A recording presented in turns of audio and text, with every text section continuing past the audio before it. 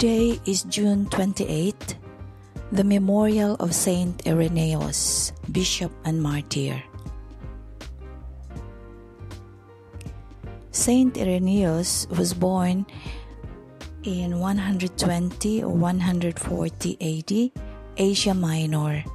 He died in the year 200 or 203, probably in Lyon.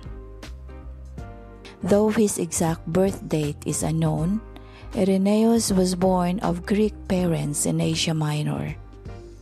His own works established a few biographical points, such as that as a child he heard and saw Polycarp, the last known living connection with the apostles, in Smyrna, before that aged Christian was martyred in 155 AD.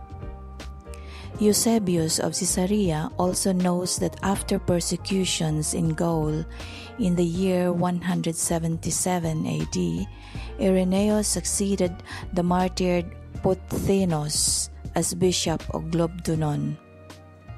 According to Eusebius, who wrote the history of the church in the 4th century, Irenaeus, prior to his becoming bishop, had served as a missionary to southern Gaul and as a peacemaker among the churches of Asia Minor that had been disturbed by heresy. The known biographical biographical data, if taken together with his published works, are sufficient to give a picture of an unusual life. Historical sources testify to a close cultural connection between Asia Minor and southern France during the second century.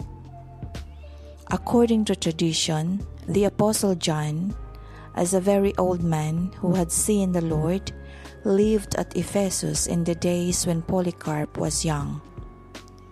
Thus, there were three generations between Jesus of Nazareth and Irenaeus of southern France.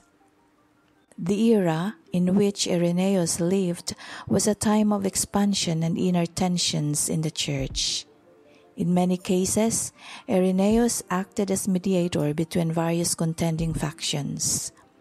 The churches of Asia Minor continued to celebrate Easter on the same date as the Jews celebrated Passover, whereas the Roman Church maintained that Easter should always be celebrated on a Sunday, the day of the resurrection of Christ.